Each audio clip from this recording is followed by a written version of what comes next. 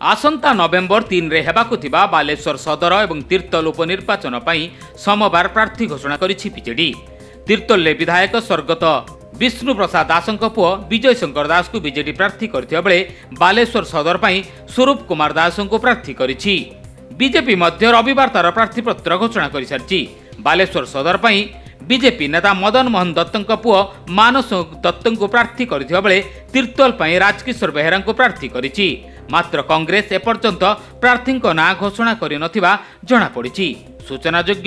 बालेश्वर सदर विधायक मदन मदनमोहन दत्त विय उक्त आसन खाली खालि पडिला